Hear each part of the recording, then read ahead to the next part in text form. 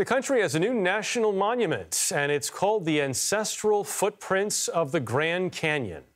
The land around the canyon is now protected. President Biden was there for Tuesday's announcement, and our Bo Erickson followed the president's visit and spoke with tribal leaders about what this means for them.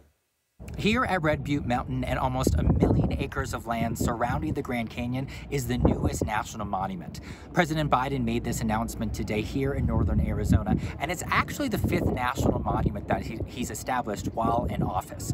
There are two main goals of this new national monument. The first is to stop any new leases for mining here in this area, and the second is to protect the ancestral sacred lands of many Native American tribes in this area. And when I spoke to tribal leaders leaders here at the announcement today, they welcome this decision. This action to create this monument in the hopes of our ceremonial people will multiply to make sure that this, the Mother Earth, is there for the well-being of everyone. One other environmental issue that was hard to ignore today is this extreme heat that Arizona and many southern states have been experiencing for the past few weeks.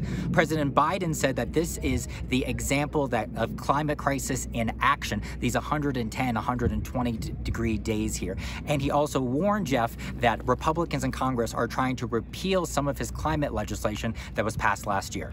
Jeff? Bo Erickson, thanks.